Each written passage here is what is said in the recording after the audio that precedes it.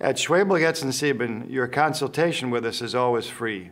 Whether you complete the free case evaluation form or call our office regarding a potential personal injury claim, the case evaluation and review is at no charge to you. Also, we work on a contingency fee basis, which means we only collect a percentage of your settlement. If there's no settlement, there's no fee to you. You will never receive an hourly bill, regardless of the time needed to prepare your case. Schwebel, Goetz, and Sieben makes legal assistance affordable for victims. The last thing you need to worry about is how to pay your legal fees. No fee is due until you receive your settlement.